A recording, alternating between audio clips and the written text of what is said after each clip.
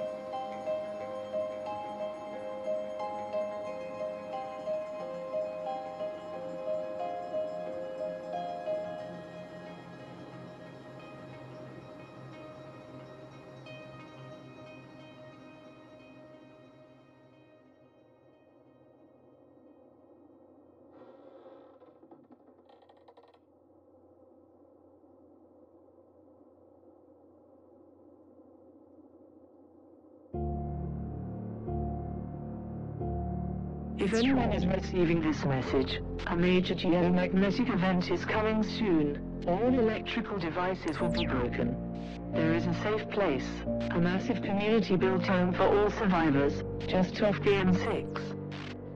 This event is bigger than we expected and is going globally. We all need to stick and work together to survive. God help us all.